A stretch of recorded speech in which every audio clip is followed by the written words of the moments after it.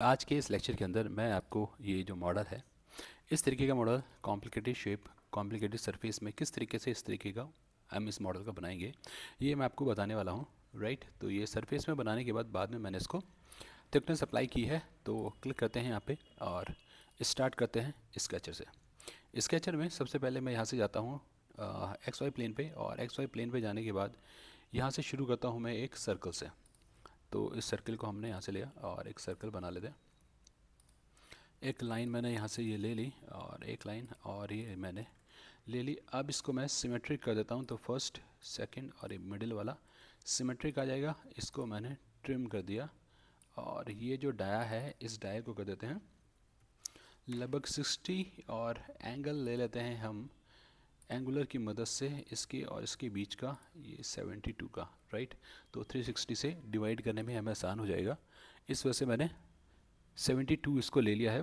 आप इसको 60 भी ले सकते हैं तो वो भी एक ऑप्शन हो सकता है राइट तो फ़िलहाल मैंने इसे ट्रिम कर दिया और ये जो है इसको, या इसको रहने देते हैं, ऐसी डार्क और एग्ज़िट कर देते हैं। अब इसमें से जो आगे वाला कर्व है, इसको एक्सट्रूड करते हैं। पर यहाँ से हमने लिया। इसको आप ले लीजिएगा सिंगल। ये हमने क्लिक किया और ये मुझे चाहिए सिर्फ़ 25 और सिर्फ़ एक ही साइड में ले लीजिए, ऊपर या नीचे की तरफ़। तो चलिए नीचे ले लिया और ओके। और आगे बढ़ने से पहले एक इन्फॉर्मेशन है। हम लोगों के पास एन एक्स कैड कैम के कोर्सेज ऑनलाइन और ऑफलाइन दोनों अवेलेबल है। अगर आप एन एक्स कैड या एन एक्स सरफेस या एन एक्स कैम सीखना चाहते हैं तो कांटेक्ट कर सकते हैं। लिंक आप मोबाइल नंबर जो है वो आपको डिस्क्रिप्शन में मिल जाएगा। और इसके अंदर, ये सरफेसिंग के अंदर ये कुछ ऑप्शन हैं जो कि कवर होंगे। सरफेस प्लस कर्व दोनों चीज़ें कवर होती हैं। सरफेस के लिए ये कुछ सरफेसिंग एग्जांपल है जो कि हम लोग ट्रेनिंग में कवर करते हैं। और इसके अलावा भी कुछ और कॉम्प्लिकेटेड सरफेसेस हैं जो कि हम कवर करेंगे। तो ये सब इसके अंदर कवर हो। तो अगर आप करना चाहते हैं तो कॉन्टेक्ट कर सकते हैं आप व्हाट्सएप पे। मेरा नंबर डिस्क्रिप्शन में आपको मिल जाएगा। अब इसके बाद क्या करना है, मैं इसको फ़िलहाल हाइड कर देता हूँ। राइट ये हाइड हो गया। अब यहाँ से जाते हैं। और इस वाले को हमने पिक किया और ओके अब यहाँ पे जो शेप बनानी है ना, वो शेप के लिए हमें कर्व चाहिए। तो कर्व के लिए मैं आर्क यूज़ कर लेता हूँ, ये एक आर्क ली और आर्क मैं यहाँ से पिक करता हूँ। और एक ये हो गई आर्क इसी को ही मिरर कर देते हैं। मिरर इसके रेस्पेक्ट में। और नहीं, ये ठीक नहीं लग रहा, अंडू। यहाँ से लिया और यहाँ से पिक करके मैं इस तरीके से लेता हूँ।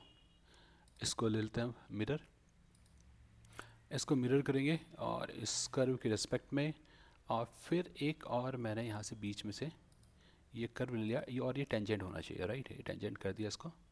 और ये कुछ ज़्यादा लग रहा है। चलिए इसे भी नहीं छिड़ते, पहले डायमेंशन ले लेता हूँ। और डायमेंशन ये ऊपर से ये जो पॉइंट है, इसके बीच का जो गैप है वो आप डाल दीजिए कुछ। तो अभी क्या लें इसको? फोर ले लेते हैं। राइट और इसे डबल क्लिक करते हैं। ये जो है 80 का रेडियस कर देते हैं।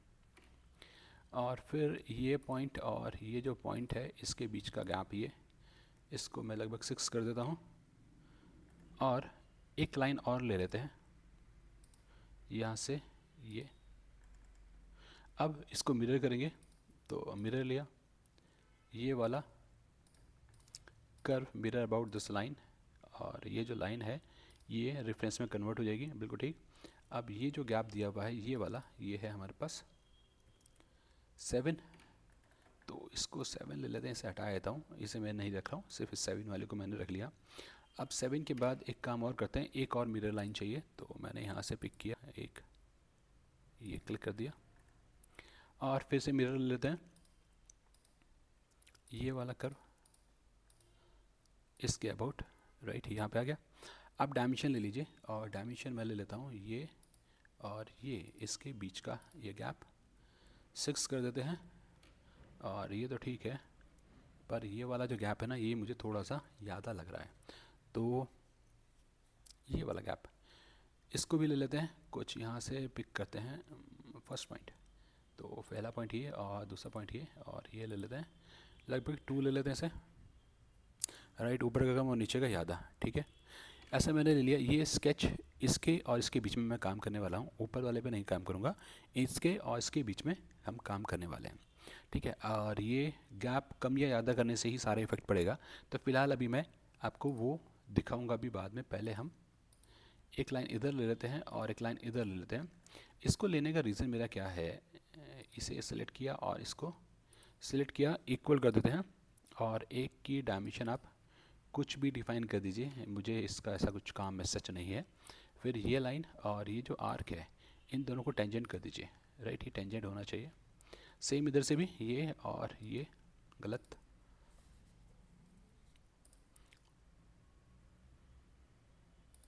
ये और ये टेंजेंट राइट ये भी मैच हो गया।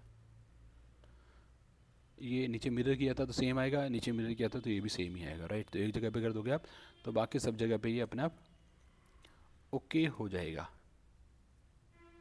राइट अगर ये गैप आपको ज़्यादा लग रहा है तो इसको मैं 5.5 कर देता हूँ, ठीक है? थोड़ा सा पास आ जाएगा। चलिए खैर ओके या चलिए बाद में लगेगा तो चेंज कर लेंगे, अभी सिक्स ही रख देते हैं इसको और ओके इसको मैं यहाँ से फिनिश कर देता हूँ और फिनिश करके मैं यहाँ से यूज़ करूँगा डिवाइड फेस और डिवाइड फेस के लिए मेरे को चाहिए ये तीन तो मैंने कहा फेस ये वाला है मेरा और कर्व ये लिए और ओके ये मेरे पास आ गया. अब इसका सेंटर है, ये क्या इसके सेंटर पे है? बिल्कुल एग्जैक्टली सेंटर पे है. तो एक डाटा प्लेन लेते हैं और डाटा प्लेन मैंने लिया इसके और इस लाइन की मदद से राइट अप्लाई फिर से, ये वाला और ये वाला, इसकी मदद से। एक और हो गया, डाटा प्लेन। अब इस पे स्केच करना है हमें, इसके और इसके बीच में बस। तो क्या करना है स्केच में जाइए। यहाँ से इसको सिलेक्ट किया राइट और ओरिएंटेशन के लिए क्या आ रहा है, चलिए खैर ओके कर देते हैं। और जैसा भी आ रहा है। अब यहाँ से सर्कल ले लेते हैं और सर्कल लेके मैंने एक सर्कल तो ये बना दिया और एक सर्कल ये बना दिया। अब ये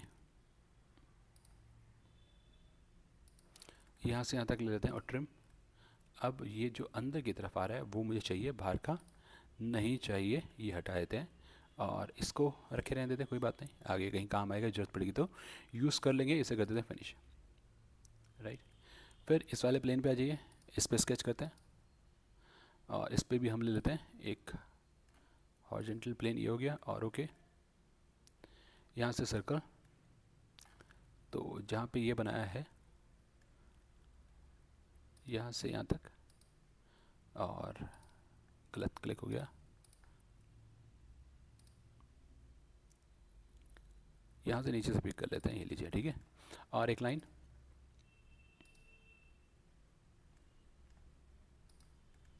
ट्रिम बाहर का नहीं चाहिए राइट फिनिश ये आ गया प्लेन को अब हाइड कर दीजिए प्लेन की मुझे ऐसी रिक्वायरमेंट नहीं है अब क्या करना है अब देखिए दो तरीके हैं पहला मैं यूज़ का एक बीच का भी रह गया सॉरी तो बीच का प्लेन कौन सा है बीच का है ये वाला तो ये वाला प्लेन चाहिए स्केच और ये बीच का प्लेन ओके ओके राइट? और यहाँ पे जाके ना ये पॉइंट नहीं आएगा। तो उसके लिए मैं क्या करता हूँ इंटरसेक्शन करो ले लेता हूँ और इंटरसेक्शन करो लेके मैंने इसे और इसे पिक किया राइट बीच के ही दो जगह चाहिए तो बीच में दो जगह पे ले लेते हैं और फिर इस पर बनाएँगे एक ये सर्कल और एक ये सर्कल राइट ट्रिम जैसा मैंने बोला था बाहर का नहीं चाहिए तो हटा दीजिए फिनिश ओके अब क्या करना है? अब इसको हम कर देते हैं पैटर्न कर देते हैं। ठीक है तो पैटर्न में जाइए यहाँ से और पैटर्न हमने लिया था पैटर्न ज्योमेट्री और पैटर्न ज्योमेट्री में ये मेरी ज्योमेट्री हो गई और सर्कुलर और ये जो कर्व है, ये भी मुझे चाहिए। तो ये कर्व ये कर्व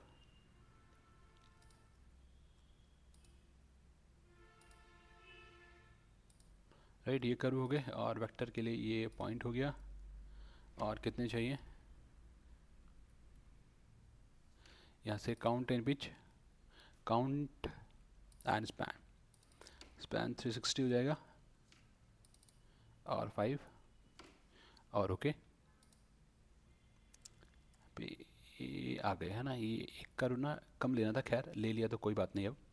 तो अब क्या करते हैं, ये प्रॉपर स्मूथ आ रहा है ना, अगर अलग अलग बनाता तो शायद ये ठीक ना आ पाता, इसलिए मैंने एक साथ ही ले लिया। अब यहाँ से यूज़ करते हैं हम स्टूडियो सरफेस और शुरू करते हैं किसी भी एक से। तो ये क्लिक किया फ़र्स्ट ऐड ये इसका सेकंड कर. घुमा लीजिए.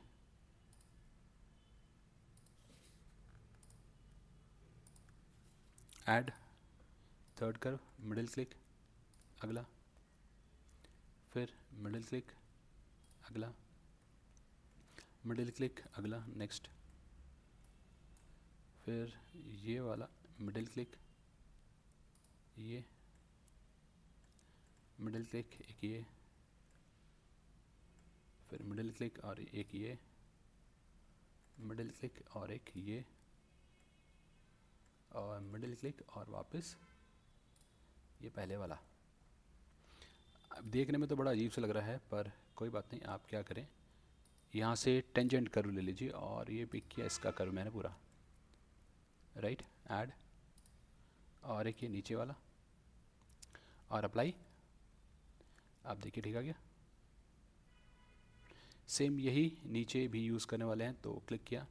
First add second curve add third curve add fourth curve add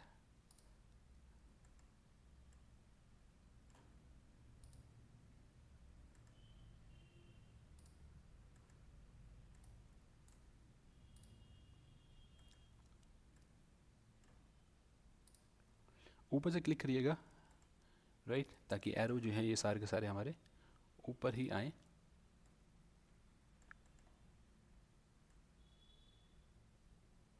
और ये फिर से पहला वाला कर्व अब यहाँ से गाइड में जाते हैं और गाइड में जाके मैंने लिया ये ऊपर वाला ऐड और ये नीचे वाला। ओके और ये हाइड कर दीजिए आप। राइट इसको भी हाइड कर देते हैं। और स्केचेस भी आप हाइड कर दीजिए। हाइड और ये हाइड राइट आ गया? यही शेप था। अब इनके बीच में लगा देते हैं हम फिलेट तो फिलेट के लिए मेरे पास है फेस टू फेस ब्लेंड तो फेस टू फेस ब्लेंड ले लीजिए। और बॉडी फेस की जगह सिंगल फेस लेंगे। एरो अंदर। सेकंड वाले के लिए एरो अंदर। बाहर होगा शायद ये। इसलिए टाइम ले रहा है ज़्यादा एक मिनट रुक जाते हैं।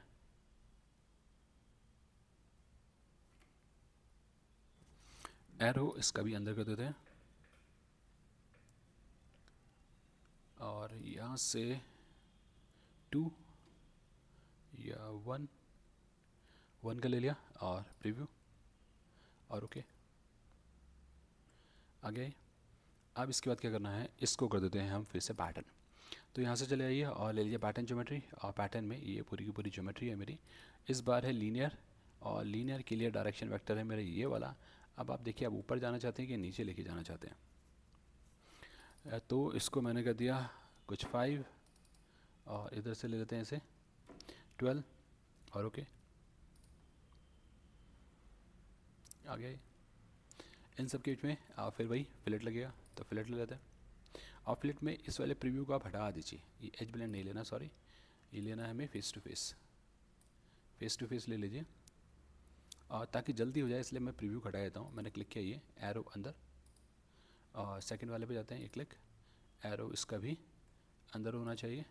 और फिर अप्लाई फिर ले लीजिए इधर। प्रीव्यू नहीं करना प्रीव्यू क्योंकि टाइम लेता है प्रीव्यू जनरेट करने में। तो मैं इसको नहीं ले रहा हूँ, मैं डायरेक्टली ऑप्शन ले रहा हूँ और अप्लाई कर देते हैं। फिर यहाँ से आ जाइए।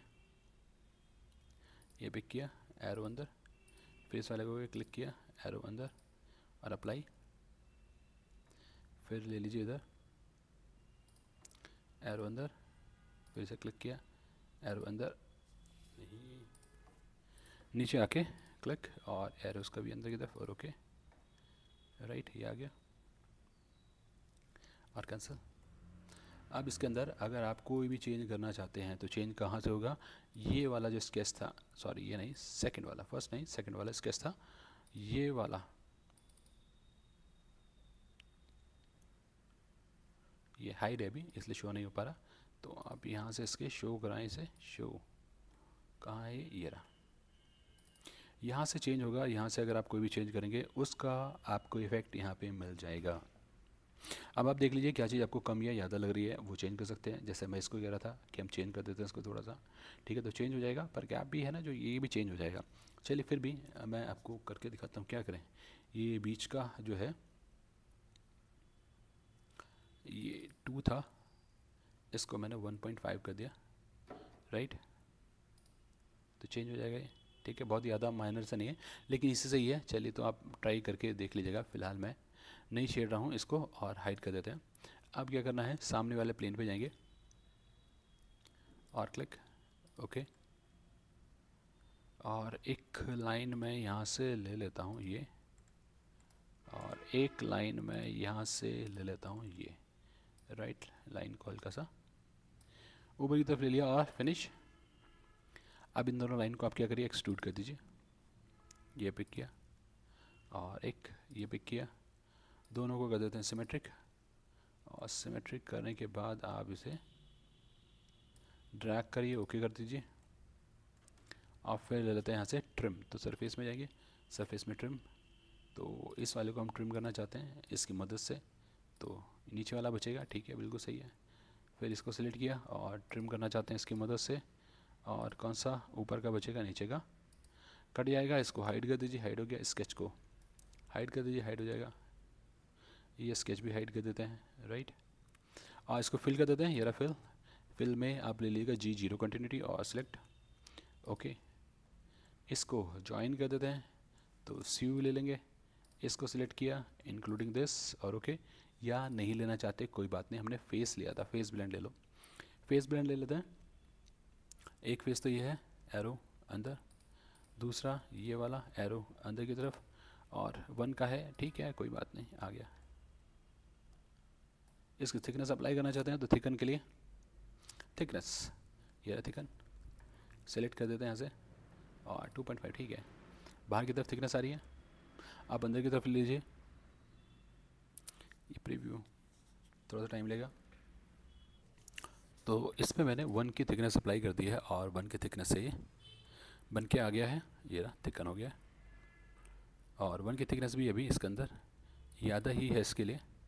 तो इसको मैं और कम कर देता हूँ, ज़ीरो पॉइंट फाइव कर देते हैं राइट क्योंकि साइज़ छोटा है इस वजह से हम इसे कम ही ले लेते हैं, और ओके राइट अंदर का फ्लिट अब दिखाई देने लग गया। पहले फ्लिट भी नहीं दिखाई दे पा रहा था थिकनेस ज़्यादा थी। बाद में आप चाहते हैं इसके ऊपर आप कोई भी व्यू अप्लाई कर दीजिए, कहाँ से जाएँगे, यहाँ से आप जाइए व्यू में व्यू में जाके ट्रू शेडिंग ले लीजिए, और ट्रू शेडिंग में यहाँ से हम इस पर अप्लाई कर सकते हैं, कौन सा मटेरियल कैसा आप रखना चाहते हैं राइट राइट तो ये पूरा आपको यहाँ पे मिल जाएगा। तो उम्मीद करते हैं कि आपको ये प्रॉपर समझ में आ गया होगा। और वीडियो पसंद आई तो लाइक करना ना भूलिए। Thank you for watching